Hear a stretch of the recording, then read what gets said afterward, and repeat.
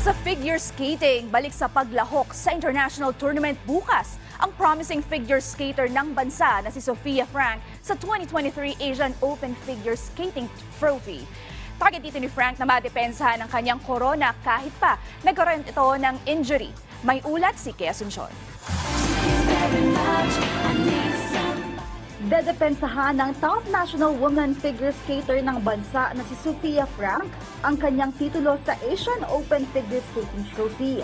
Nagsimula na ang naturang continental event nitong Miyerkules pero bukas, August 18, ang kanyang laban sa senior women's event na gaganapin sa Bangkok, Thailand. Kasama ng 17-year-old California-based skater na lalaban sa short program event para sa Pilipinas, sina Sky Patenya at Sky Chua. It's the first competition of the season, so you know I'm not expecting anything um, too high. Uh, it's not my first time doing this competition. I did this competition last year, and I won this competition last year, so that was really cool. Um, and I I want to try and beat my score from last year. Kahit pa ito ang unang laban ni Frank ngayong season, hindi pa rin ito nakaiwas sa pagkakaroon ng injury.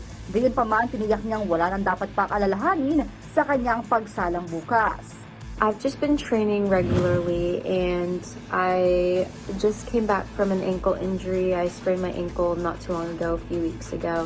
So I've been trying to get back my strength from that. But um, training's been going well, so I'm not too worried. Um, but yeah, there are there is tough competition this year, so you know I'm I'm excited to watch all of these skaters compete and skate their best.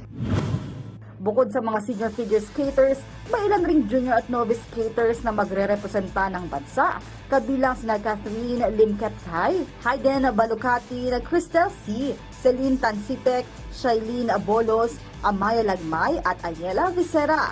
Nakatakdang magtapos ang kanilang laban sa Sabado, August 19. Kaya Asuncion, PTV Sports.